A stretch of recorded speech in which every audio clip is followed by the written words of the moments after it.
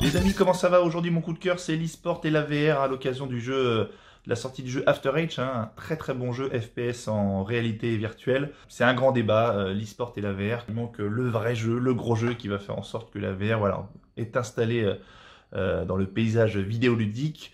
Et moi, je pense que dans l'e-sport, voilà, ça peut marcher, ça peut très très bien s'associer. Évidemment, on n'a plus de matos dans les mains, ou en tout cas, pratiquement plus de matos dans les mains.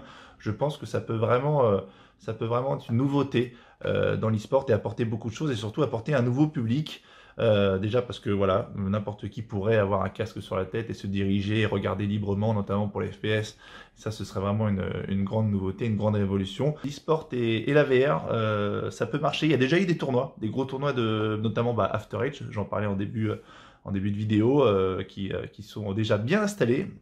Et franchement, c'est déjà assez sympa, assez sympa à voir. Voir les mecs se cacher, glisser, ramper. Euh, pas besoin de savoir manier une manette, euh, une souris, un clavier. Donc je pense que voilà, l'e-sport et la réalité virtuelle, il manque encore, euh, encore, encore un petit peu de temps. Je pense qu'il faut du progrès, je pense qu'il faut encore des casques déjà sans fil et, un petit peu plus d'évolution pour pouvoir dire voilà, aujourd'hui l'e-sport, bah, il n'y a plus de matos, on a un casque et puis c'est tout. Mais bon, ça viendra, le futur c'est demain comme on dit. Et puis c'est Marcus qui sera content. Voilà, des bisous les amis